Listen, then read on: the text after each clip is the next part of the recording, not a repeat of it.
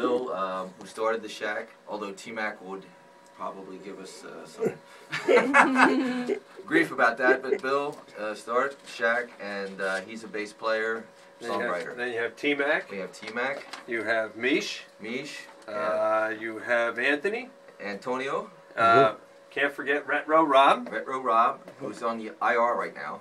Yeah, Yeah. right. Yeah, Johnny get Bling. back- Johnny Bling. Yes. mhm. Uh, and then if you want to dig real deep, you got T-Mac, you have uh, Tom. Tom, Tom Larkin. Sean Ellis. Sean Ellis.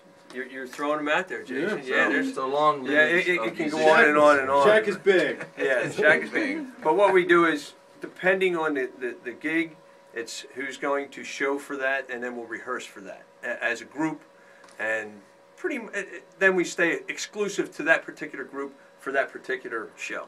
Okay. Yeah, but there's always two guys that always play. Okay. Yeah, Those guys right there. yeah. All right. So so so John and you guys are uh, definitely uh, the kind of the heart of the band here. So uh, tell me a little bit about uh, these uh, the song for this year's 2013 album.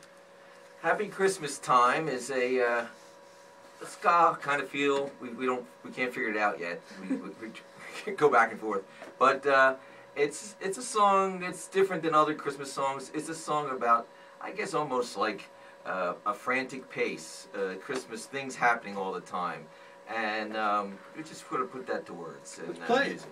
Let's play it. All right. Here we go.